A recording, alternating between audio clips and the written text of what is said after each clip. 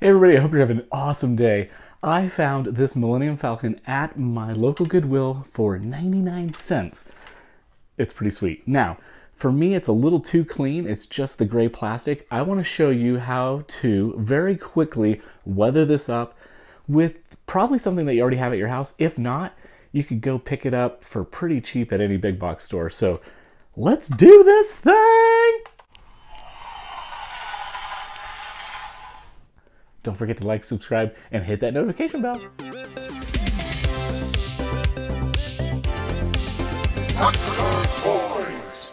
Okay, so what I want to do is just weather this up so it looks cooler. I don't really want to do anything too complicated or crazy. And there's just a really simple way to do this. We're going to put a wash on it. Now, a lot of times I'll use this Citadel Shade Nuln Oil, and uh, it works really nice for doing panel um, panel line washes. Tamiya makes a panel line wash. I've seen people make homemade acrylic and oil washes. Um, I've even seen guys do like pencil with um, lead. And so you can do all kinds of really cool stuff. But we're just going to do a simple, quick wash on this. But instead of using this stuff, which can be a little pricey, you know, it's a small bottle and it could be anywhere from seven to eight bucks, um, we're going to use shoe polish. This is the liquid shoe polish that you normally just has the sponge on the tip and you kind of squish it and rub it all over your shoe. Um, I've seen a couple of modelers use this kind of stuff. I first saw this with Cosplay Chris. He does some really fun uh, toy rebuilds, so check him out if you don't know him. But to do this project, we're just going to need this. Pretty cheap, pretty simple. You'll want a little thing of water. You will want a brush. I'm going to use a half inch brush. That should be plenty big for what I need. You want like a plate or something to uh, put this liquid on. You'll want an old Scotch-Brite scrub sponge. This will help us at the end there. And some paper towels. So yeah, let's do this. Should be pretty easy. I'm just squeezing out the shoe polish on a paper plate. We'll get some water, thin it down just a little bit, and I'm just gonna start applying this thing all over the place. Get in every little nook and cranny, get all those little panel lines.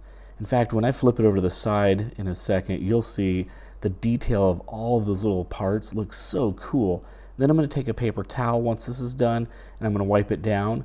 And right away, you're going to see the effect that I'm going for to make this look like a weathered ship. It looks, I think it looks pretty great. So that literally was just maybe a minute or two of just brushing that on. And as of right now, I've just taken the paper towel because it was still pretty wet and I could take off most of that. And I wanted to just give you a side by side. I only did the one half so you could still see. So look at just some of these little panel lines compared to this. Like right away, that dark falls right in the panel line. Now, I could take a smaller brush and very carefully drop in the entire thing, but I actually don't mind some of this buildup on the body itself. I think it looks pretty cool. The one thing that we can do is I'm going to, what I'm doing right now is just wetting my sponge. I'll kind of rinse that out. And the Scotch-Brite side will allow you to, when it's wet, kind of scrub off even more. So you can see right there I just took off some of that surface grime. But the, the Scotch-Brite does not go down into the grooves, so it actually will just remove off of the surface area. And you can see right where the brush hit, or um, not the brush, but the sponge. You see that little line right there and over. So you can also come in this way and just kind of grunge things up a little bit like that, or clean things however you want.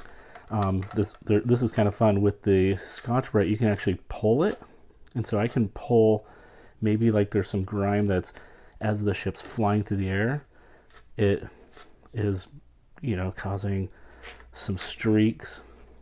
So that's kind of cool. I might do that on the back here because I think in the movie you would see some kind of grime coming off of these guys. So I might even just add a little bit of darkening in here. Maybe there's areas where I scrubbed out or maybe I wiped it too soon and lost some of my panel um, wash. No big deal. I'll just come in here add a little bit more. And what I'll probably do is go ahead and let this dry. So then when I scrub it out, for sure that inside is dry and it the napkin could very well just be pulling out the uh, wash that I had in there. So yeah, so this is uh, pretty fun. I'm going to go ahead and continue doing the whole thing. And then I'll show you a couple of other toys and action figures I've done the same thing with. And then we'll do a little uh, glory shot of this.